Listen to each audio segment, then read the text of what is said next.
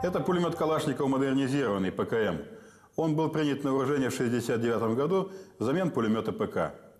Именно к этому времени возобладало мнение о том, что пехоте в цепи необходимо мощное, но легкое автоматическое оружие. Пулемет ПКМ легче своего предшественника на полтора килограмма. Пулемет комплектовался двумя коробками на 100 патронов и двумя коробками на 200 патронов. 600 патронов, которые переносил с собой расчет, весили 24 килограмма, при том, что сам пулемет весил всего лишь 7,5 килограммов.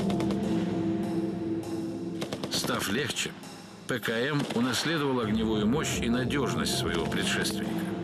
Большой носимый боезапас позволял пулемету обеспечивать высокую плотность огня.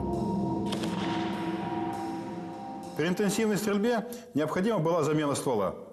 Для этого в комплект пулемета входил запасной ствол. Сама замена не вызывает никаких трудностей и совершается за несколько секунд.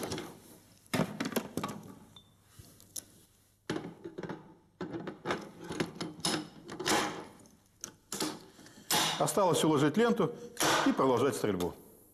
Вариант ПКМ на станке Степанова с сотней патронов в ленте весит всего лишь 15,5 килограммов. Был создан и бронетранспортерный вариант этого пулемета.